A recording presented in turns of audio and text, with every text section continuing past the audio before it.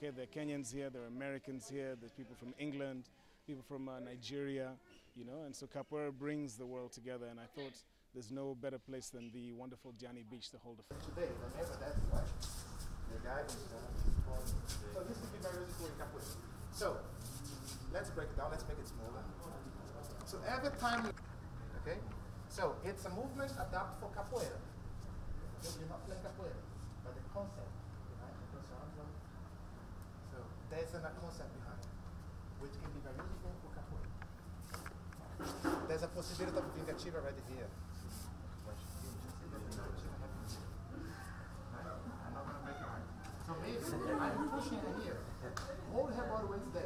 When she comes back here, Capoeira, like you know, you have to you have to keep coming. You have to keep. It's very. I'm a, I'm a capoeira teacher.